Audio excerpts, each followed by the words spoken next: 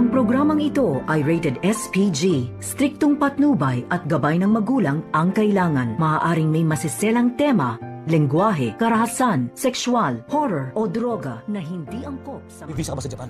Ah, oo, bakit? May kilala ko doon. Kaya kanyang bigyan ng bagong passport at bagong identity. Bago? Narito na nga ang ating pakabangan bukas sa abot kamay na pangarap. Agad nga na inilabas at ibinaba itong uh, warrant of arrest para dito kay Moira. At dito naman na pinuntahan ng mga pulis kung saan ito naka-check-in itong si Moira subalit nagtataka ang mga pulis na kung bakit gulong-gulo itong kwarto ni Moira at tila nagmamadali nga daw umalis.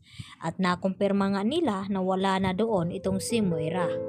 At dito naman na ipinagtataka ni Giselle na hindi naman daw naka-check out itong si Moira at kung bakit nawala ito sa kwarto. At maya-maya nga ay napansin nga dito ni RJ itong si Doc Carlos Benetes at nagtaka ito na kung ano nga ba ang ginagawa ni Carlos Benetes dito sa hotel kung saan naroon itong si Moira. At agad naman na nakahanap ng uh, rason itong si Carlos upang idahilan niya dito kina Giselle at RJ at sinabihan siya na may tumawag daw sa kanyang pasyente at kinakailangan siya sa hotel na iyon. Subalit yun pala ang pakay dito ni Carlos na tulungan nga itong si Moira at nakipagkita ito. At dito tinanong ni Carlos si Moira na kung may visa ba daw siya sa Japan. At kayang-kaya daw siyang bigyan ng bagong identity ng kaibigan ni Carlos doon. At passport. At dito naman na sumang-ayon itong si Moira. Kaya naman pala makakapunta itong si Moira sa Japan. Subalit ay hindi niya ito magtatakasan itong kaso na inihain at isinampa dito ni RJ at Giselle sa kanya. Dahil naroon nga itong si Lynette at Annalyn. At makikita ni Annalyn itong si Moira doon. At yun nga ay mapagdudahan nila na ang tumulong at kasabwat ni Moira upang tumakas ay walang iba kundi itong si Carlos Benetes. Samantala, ibinaon at itinago naman ni Moira itong pera na milyones. At dito nga, may matanda na lalaki na nakapansin sa ginawa ni Moira at agad na kinuha ng lalaking ito at inireport dito sa kapulisan at dinala niya ang pera na iyon dahil duda ng matandang ito na galing daw ito sa masama at tama nga ang kanyang hinala. At ipinakita nga ng mga pulis ang larawan kung itong babaeng ito ang naglagay roon. At nakumpirma nga ng lalaking ito na yun nga ang babae at kumpirmado na nga na si Moira ang nagtago sa mga perang nakulimbat niya dito kina Giselle at RJ. At hindi matatakasan ni Moira itong mga kaso na laban sa kanya.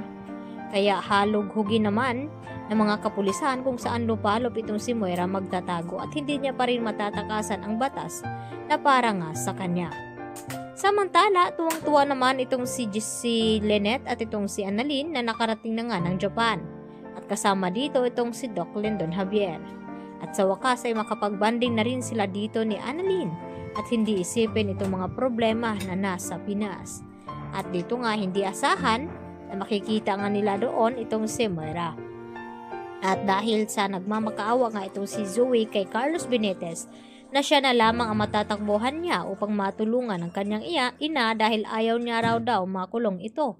Kaya hindi naman nag-atubiling bigyan ng tulong itong si Carlos kaya uh, isinasantabi niya muna ang pagpunta ng Japan at manatili dito sa Pinas kung saan idinadahilan niya dito kay Annalyn at Lynette na may mahalaga daw siyang pasyente na kinakailangang iligtas at susunod na lamang daw itong si Carlos doon. At agad naman na pumayag din itong si Lynette at ganoon din itong si Annalyn dahil trabaho nga ang idinadahilan ni Carlos at mas mahalaga nga iyon. Kaya hindi na nagpatumbik-tumbik pa itong si Carlos at agad na pinuntahan itong si Zoe.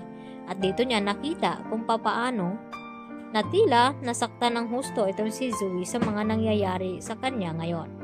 Kaya yan po ang ating patuloy na pakabangan mga kapuso bukas kung ano magiging kahinat na na ngayon makukumpirma ng mga kapulisan na ang tumulong kay Moira ay walang iba kundi itong si Doc Carlos Benetes. Yan po aking karagdagan latest update at maraming maraming pong salamat sa inyong pananatiling panonood dito sa aking munting channel. Bye-bye!